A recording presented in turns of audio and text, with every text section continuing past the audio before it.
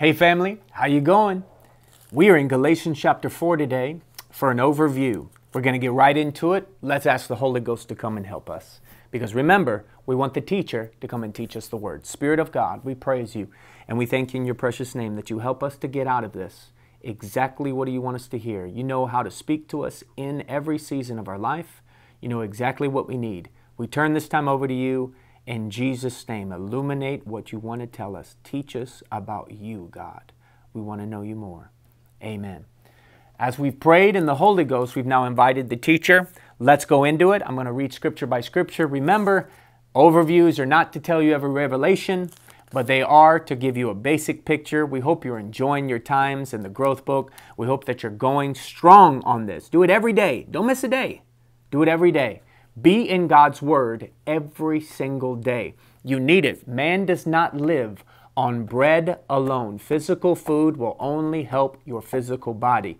But you have a spirit man who needs spiritual nourishment.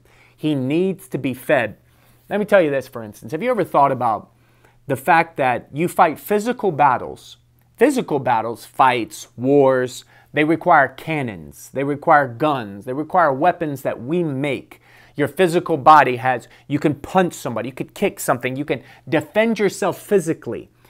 And those are the things that when you work out or you make sure you're mobile, you're walking around, what are you doing? You're making sure that your body is ready in case there might be an emergency situation you might have to take on. Well, that's the same thing when it comes to the spirit. You have a spirit man, but every battle that you're fighting in life, many of them are not physical. Actually, almost all of them. Unless you're getting in fights every day, you know, physical fights, you're not fighting physical battles. You're fighting spiritual ones. We fight and wrestle not against flesh and blood, but against spiritual principalities, forces of darkness, and all these that are in the evil world. That's what Paul is saying. He's saying that you're fighting spiritual battles. So you cannot knock out with your fists demonic powers. You cannot chokehold demons. It doesn't matter how much you're working out at the gym, how much you're eating physical food, it's not going to help you in a spiritual battle against depression. It's not going to help you in the physical battle against suicidal thoughts, in the spiritual battle. It's not going to help you against trying to refine joy again, getting peace in your life again. These are spiritual battles. So, what do you got to do? Train up your spirit man. As you physically fight those battles in the physical, he fights those for you in the spiritual. What do I mean, He? The Bible calls him the inner man. Some other translations call him the spiritual man. The spiritual man, when you got saved, your spirit was completely saved. If you'll notice, after you got saved, you still have the same body. You still had feelings and emotions. It's because you're made up of a body, a soul, and a spirit. Your body will be saved when we go to heaven. This body's going to be left, and you're going to be given a new body going to heaven.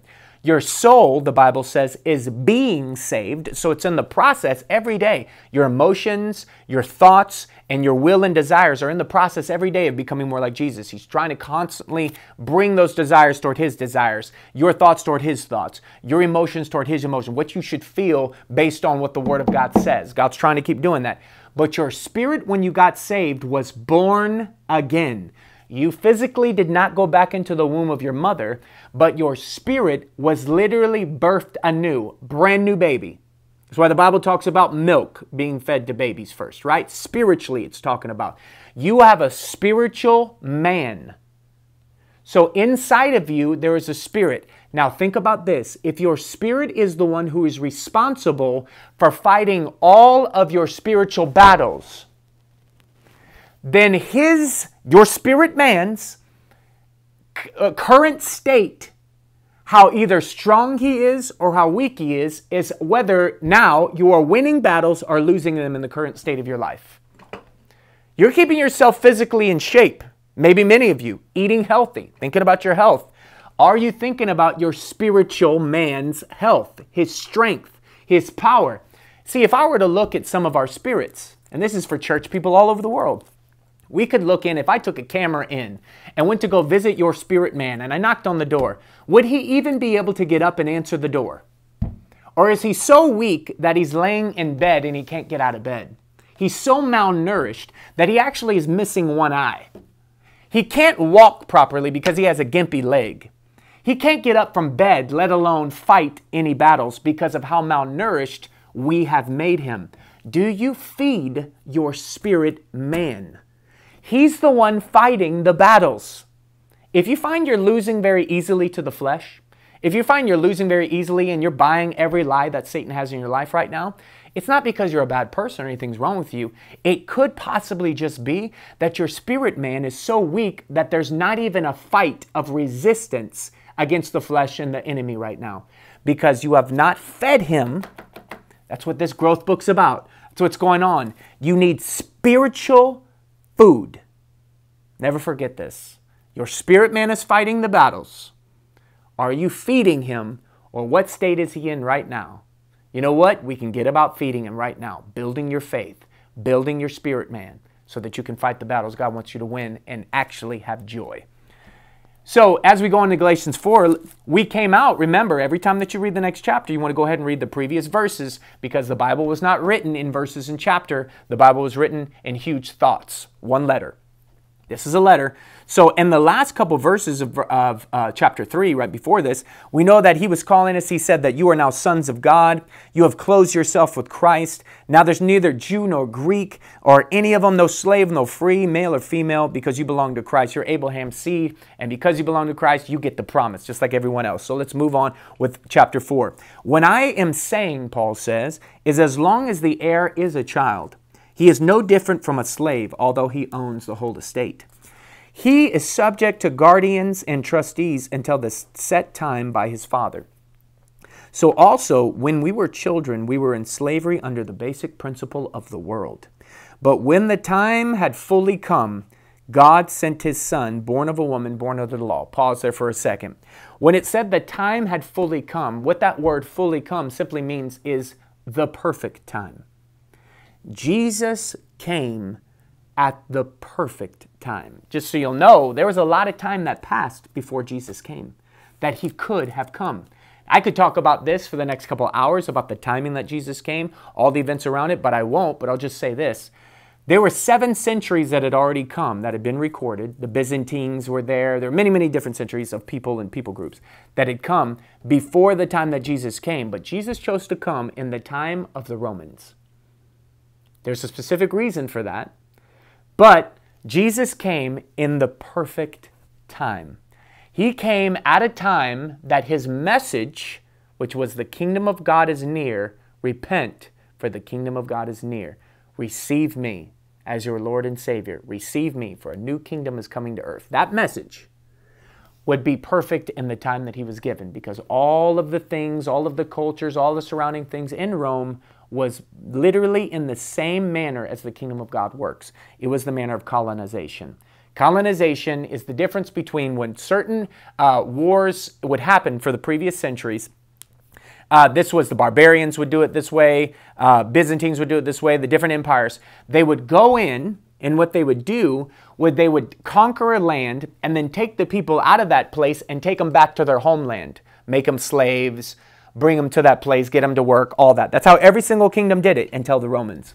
What they said was they said, let's colonize the areas. So we're going to have this information called colonization, meaning we're going to go in, capture, destroy a land, but then we're going to send our governors or representatives from our kingdom of Rome, and we're going to go into their land and teach them to eat like Rome, teach them to talk like Rome, teach them to dress like Rome. We're going to go and make them like Rome. And that is why the Roman Empire lasted for over a thousand years, one of the longest lasting empires ever in history, the strength of it, because they implemented colonization. They didn't bring people back from their land and keep those lands empty. What they did was they sent people to teach them to be like Rome. That's why the saying got so uh, famous, honestly, when in Rome, do as the Romans do, where literally they were making every country be like Rome. That's the same principle of the kingdom. You see how Jesus could work with this? What does he do? He comes, he dies for us. And what does he send when he leaves? A kingdom is coming. I don't represent myself, I represent that kingdom. And I'm sending the governor, the representative from the kingdom. His name's the Holy Spirit. And he's coming in to teach you to be like Jesus, teach you to walk like Jesus, teach you to talk like Jesus, teach you to eat, teach you to act like the kingdom of heaven that he was sent from. That's what it's all about. You see, Jesus even knew the time he could come, and it's the perfect time. Let me challenge you with this before I move on. Many of us are so frustrated with God's timing in our life. I understand. Some things do not happen when we want them to. Some things do not come to pass when it would be the timing we would prefer. But can I encourage you? Jesus still is on the perfect time. He never is late and he's never early. He only shows up exactly when he's supposed to. Do you trust God's timing in your life? For a wife, maybe.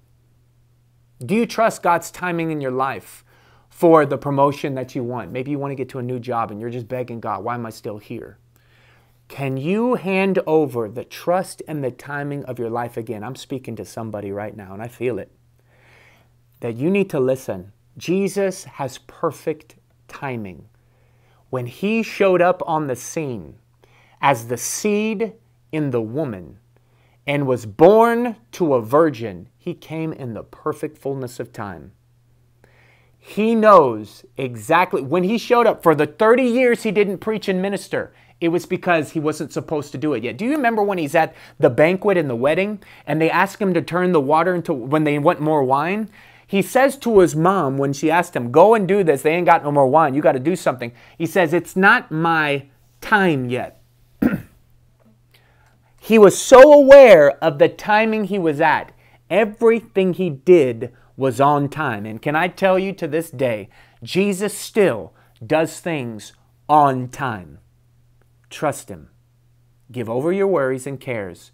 Know that he knows more than you do, and he has your back. He loves you. He only has thoughts of good and hope for you and to bring you a great end. He has things and he'll do it in the perfect time. Hallelujah. Verse 2. So what I am saying is he said in he is subject to the guardian so that under the time and this is verse 4, but when the time had fully come God sent his son, born of a woman, born under the law. Verse 5, to redeem those under the law that we might receive the full rights as sons. Jesus came as the son of God to make us sons, to make us part of the family. Verse 6 Because you who are sons, God sent the Spirit of His Son, the Holy Ghost, into our hearts. The Spirit who calls out, Daddy, Father, Abba, Father. It means daddy. Intimate terms. Daddy, my Father, my God. Some of y'all don't even know because many of you haven't had a father. Maybe you're sitting there and your father was at home, but he wasn't present. Maybe he was emotionally unresponsive. I don't know the situation you have with your father, but we have a father who loves us, who made us his son. You've been adopted into the family of God. Hallelujah. You are a family member. And as a son, you have all the rights of a son, meaning you get the inheritance. Verse 7 So you are no longer a slave, but a son.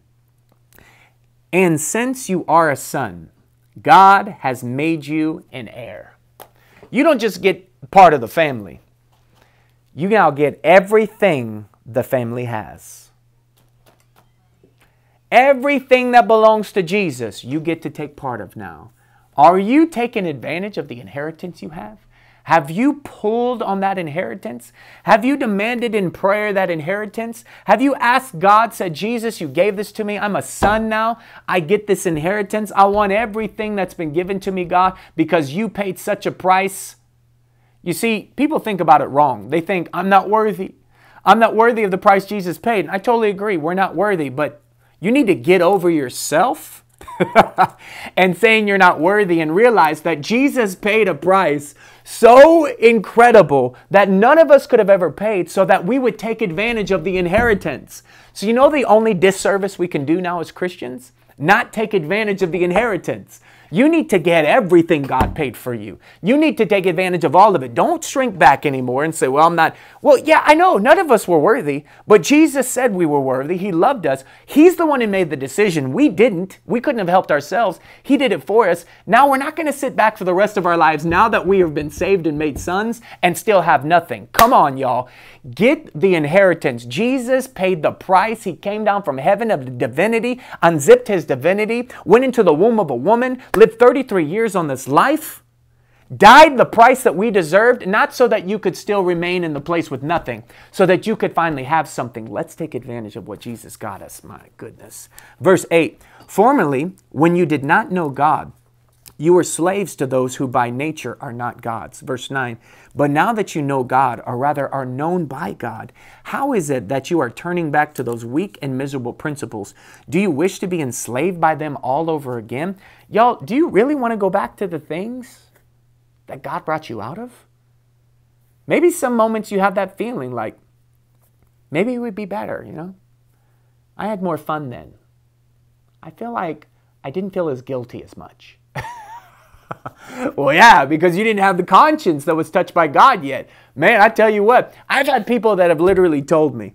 I've had people that have literally told me. They said, "Man, I, I just can't get saved," and I'm like, well, "Why?" You know, talking about it. They said because I'm going to start feeling bad about the things I do.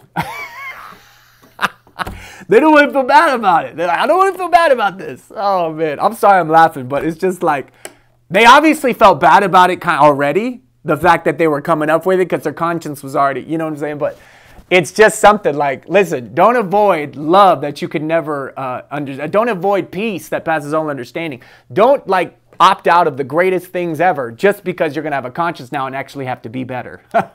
so praise God. Verse 9 or verse 10 You are observing special days and months, seasons, and years. I fear for you that somehow I have wasted my efforts on you. I plead with you, brothers, become like me, for I became like you. You have done me no wrong.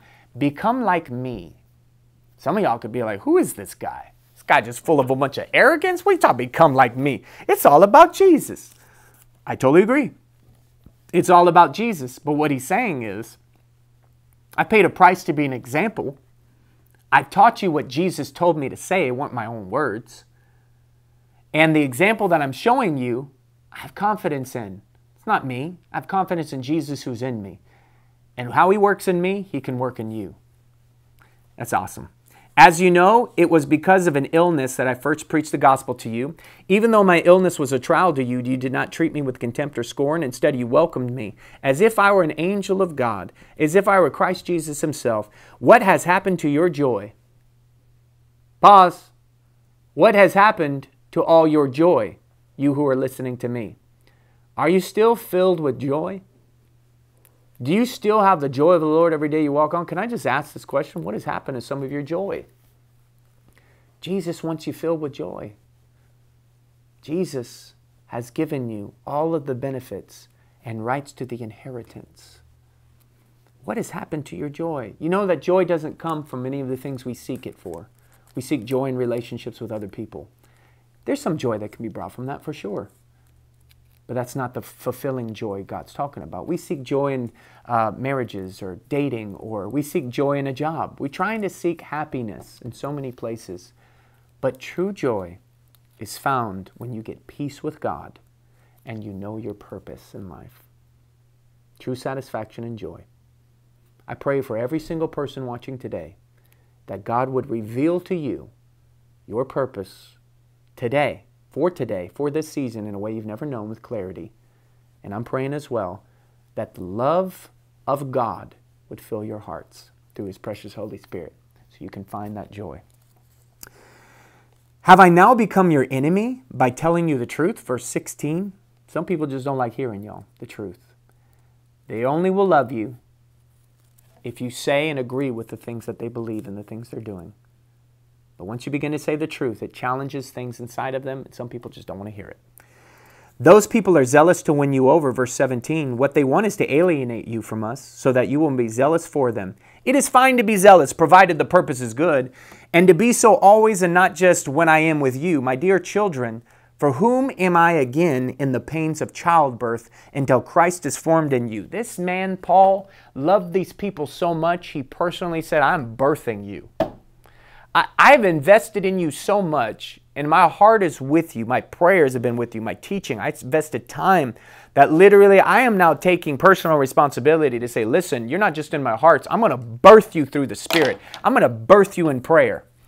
I, until you are fully, for, fully formed into who you're supposed to be, I'm going to keep praying until it happens. I'm going to keep teaching until it happens. Parents, are you listening? Until your kids are fully formed into the who they're supposed to be in God, you got to keep praying.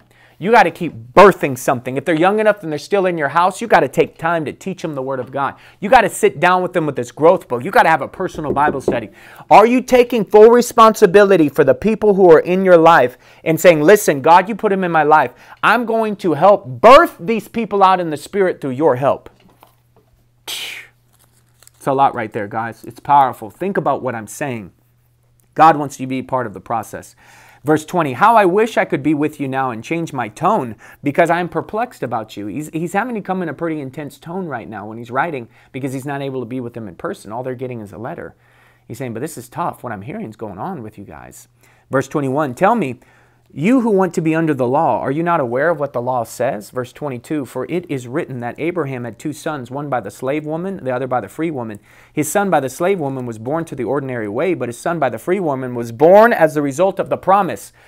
He's saying that, listen, you guys could just keep on trying to do these things in your own power, your own strength, your own laws, and get the promise. You don't get the promise going through the laws in the old way. You get the promise by going through the Spirit. It's got to be the Spirit of God who's leading you. It's got to be what the Spirit says. It's got to be what the Spirit of the Holy Ghost is doing by giving you strength. You can't attain the promise you want. The results you're going for, you're going about it wrong. You cannot get the results you're wanting for, uh, through the ways that you're going about this more laws, more dues, more no's, no rights. You got to get it through the power of the Holy Ghost. It's not by might, it's not by your power, but it's by my spirit, says the Lord God. Come on, y'all. Let's go do it God's way. You'll get his promises and results. These things may be taken figuratively, for the woman represents two covenants. One covenant is from Mount Sinai and builds children who are to be slave. This is Hagar. Now, Hagar stands for Mount Sinai in Arabia, it corresponds to the present city of Jerusalem because she is in slavery with her children. Hagar's from the Old Testament. You remember the book of Genesis. She was the one who Abraham was supposed to have the promised child, Isaac, but he was 99, no kids were happening. So he's like, Lord, let me help you out with this. I'm getting a little old. Uh, let me help you out because your timing isn't my timing. I need this thing to happen now, and your timing's already passed. Maybe you just forgot, Lord. It's okay. Let me help you. Let me do that. That's where Ishmael comes from. Is when you try to help God, you always form an Ishmael. But if you trust God's timing, you will have the promise. But you can get so many counterfeits because you get involved in the process, you get impatient with God's time. This is in every area of your life. And you know what? You'll get a counterfeit because you try to help God out. He does not need our help, He needs our obedience. Hallelujah. And our trust. For it is written, Be glad, O barren woman who bears no children. Break forth and cry aloud. You have no labor pains, because more of the children of the desolate woman than of her who has a husband. Verse 28. Now you brothers, like Isaac, are children of the promise. At that time, the son born in the ordinary was persecuted, the son born of the power of the Spirit. It is the same now. Woo! But what does the scripture say? Get rid of the slave woman and her son. What does that mean in your life? Get rid of the counterfeits. Stop accepting and settling for counterfeits. Man, I could say that again, and I'm going to. Stop settling for counterfeits. Get rid of the slave woman and her son, for the slave woman's son will never share in the inheritance. It will never be compared to the full promise. It will never be compared to what God had in his heart for you. Therefore, brothers, we are not children of the slave woman, but we are children of the free woman. We are children of God. We've been adopted as a son. We're given his inheritance. He wants you to have the best. He doesn't want you to have a counterfeit. He doesn't want you to settle. God wants you to have his best. Don't settle for the counterfeits. It's time for some of us to throw out the slave woman. It's time for some of us to kick out that boyfriend. It's time for some of us to stop settling for relationships that are not God's best. It's time for some of us to stop settling for a life of depression, a life of hopelessness when that's not what God wants for you. It's time for some of us to say, As for me and my house, we're going to serve God and we're going to get the promises He wants for us. Y'all, I believe for you. Have an incredible week this week. I hope this has empowered you, encouraged you. Pray right now. Once this video is done, I want you to get in the presence of God. If you have a couple minutes right now, when you press stop on this video, turn on some worship music. Get in His presence. Say, God, is there anything in me that's settling, Lord? Because I'm a son, I'm a daughter, I'm an heir to the promise. And God, I want what you want for me to have. Show me, Lord. Give me clarity in my life. Give me strength to make the decision. We love you so much. God bless you. See you next week with whoever the pastor is. It's going to be good. Giving you Galatians 5. Stay in your Bible. Love you.